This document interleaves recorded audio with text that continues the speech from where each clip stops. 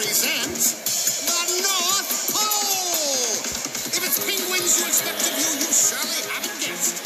They all live down at the other end. With a little luck, we'll be on time. There's no need to stress,